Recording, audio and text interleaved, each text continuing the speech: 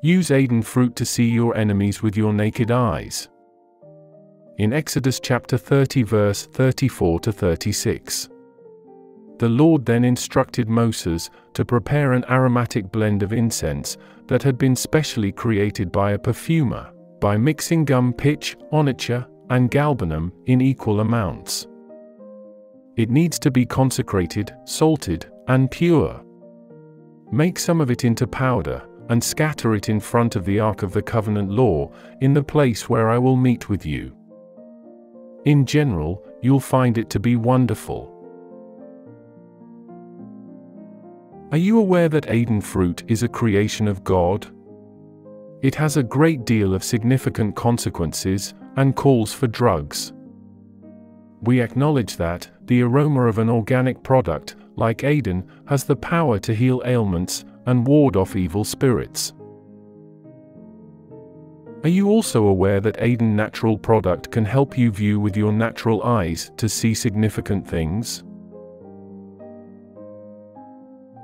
This is the secret that the large majority of these prophets and ministers of today used to enter a deeper realm of prophecy. If you follow the advice that I am going to provide in this video, you won't ever need to see a minister to ask God for help, because you will be able to recognize when a wicked soul is tormenting you on your own and without their help. In this video, I'll show you how to use an organic product called Aidan to see your enemies clearly without any assistance. Items that you need Sea salt, Natural stuff from Aidan earth pot, and water pouring down, or rainy water. Step 1. Take your earth pot and wash it with clean water, after that fill the clay pot with rain water. It would be best if you didn't remove any rainwater from its natural state. Step 2. Entails washing the Aidan organic product in the clay pot with rainwater. Step 3 Measure out 21 ocean salt and add it to the container before adding the Aidan leafy foods, and then add the rainwater. Step 4. Hang it for three days from a tree or lay it on the tree's head. Take it after three days and offer this supplication in the evening by saying these prayers. God of Israel, you are the one in whom I put my trust.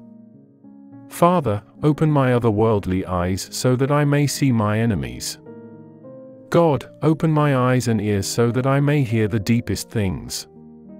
Please, open my eyes. In the name of Jesus Christ. After you've finished the supplicating method, wash your face three to several times. All the witches and wizards in your compound will reveal themselves to you in your fantasy and you will be able to identify the people who are responsible for your fate. Please don't be afraid since they are powerless to help you when you see them. Try to do it on the day that you were born. However, make an effort to keep it a secret and entreat them not to. Do it several times each week, and let's wait patiently for the results. When you have them, do everything it takes to avoid engaging in physical combat and instead exact revenge in the spiritual realm. As soon as your eyes open, refrain from declaring yourself a prophet, since God calls prophets.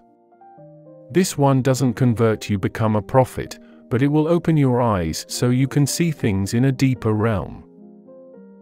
Thank you and God bless you for watching this video.